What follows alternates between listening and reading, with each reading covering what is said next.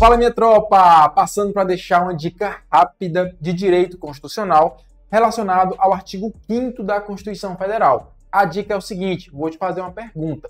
No Brasil, se admite pena de morte? E aí, o que, é que você me diz? A resposta é a seguinte: via de regra, não, mas excepcionalmente, sim. Como assim, professor? Explique isso aí.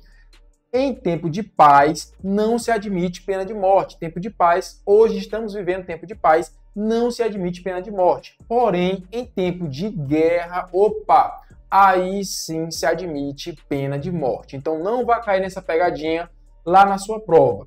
Como regra, não se admite pena de morte. Excepcionalmente, em tempo de guerra, se admite essa pena de morte, tem previsão lá no Código de Processo Penal Militar e no Código Penal Militar também, beleza? Valeu, galera. Fico por aqui.